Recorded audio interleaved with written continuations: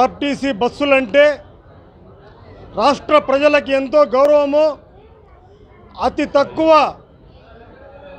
అతి తక్కువ ధరలతో మరి వారి యొక్క గమ్యానికి చేరుస్తారు కాబట్టి ఆర్టీసీ ప్రయాణం అంటే రాష్ట్ర ప్రజలందరూ ఎంతో గౌరవం ఇస్తారు మరి అటువంటిది ముఖ్యమంత్రి జగన్మోహన్ రెడ్డి గారు మరి ఈరోజు రాష్ట్ర ప్రజలపై ఆర్టీసీ ఛార్జీలు పెంచి దాదాపుగా పదమూడు వందల డెబ్బై ఐదు కోట్ల రూపాయలు రాష్ట్ర ప్రజలపై భారం చేయడం జరిగింది.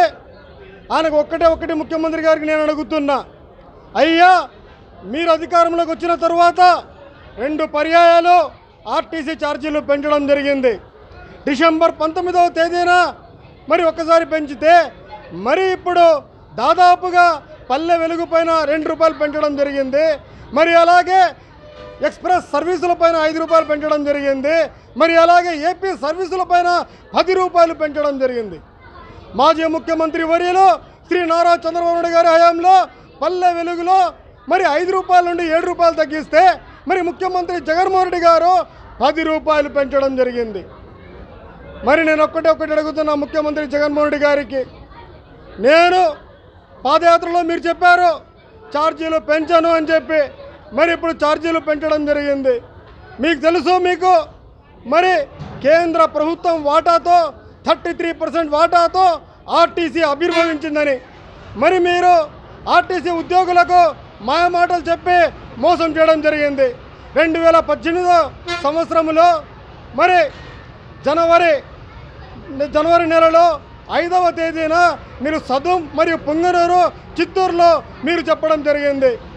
ఆర్టీసీని ప్రభుత్వంలో విలీనం చేస్తామని చెప్పి మరి మీరు చేసింది కేవలం ఉద్యోగులకు మాత్రమే విలీనం చేసి మరి వారికి మోసం చేయడం కాదా అని చెప్పి మిమ్మల్ని నేను అడుగుతున్నా. మరి కేంద్ర ప్రభుత్వంతో వాటా ఉంటే మరి మీరు ఎలా విలీనం చేస్తారని చెప్పి ముఖ్యమంత్రి గారికి అడుగుతున్నా. మరి అలాగే ఆర్టీసీ డిపో పక్కన ఉన్న ఖాళీ స్థలాలు కూడా మరి ఈరోజు అమ్ముకునేందుకు సిద్ధమయ్యారు.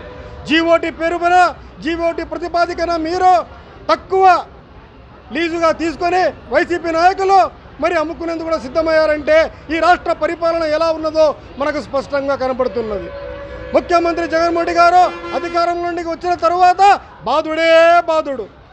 నిత్యావసర సరుకులపైన బాధుడే బాధుడు. మరి పెట్రోల్ డీజిల్ ధరలపైన బాధుడే బాధుడు. రిజిస్ట్రేషన్ ఛార్జీలపైన బాధుడే బాధుడు. ఓటీఎస్ పైన పదివేలు తీసుకుంటూ బాధుడే బాధుడు. మరి ఆర్టీసీ ఛార్జీలు పెంచి బాధుడే బాధుడు. విద్యుత్ ఛార్జీల పైన. బాధుడే బాధుడు బాధుడే బాధుడే. ముఖ్యమంత్రి గారికి పని అయిపోయింది తప్ప రాష్ట్ర ప్రజల శ్రేయస్సు ఆయనకు పట్టలేదని చెప్పి ఈ సందర్భంగా నేను తెలియజేస్తున్నా. వారు వెంటనే ఆర్టీసీ ఛార్జీలు తగ్గించాలి పెరిగిన ధరలు తగ్గించాలి విద్యుత్ ఛార్జీలు తగ్గించాలని చెప్పి తెలుగుదేశం పార్టీ తరఫున ఆందోళన కార్యక్రమాలు చేపడుతున్నాము.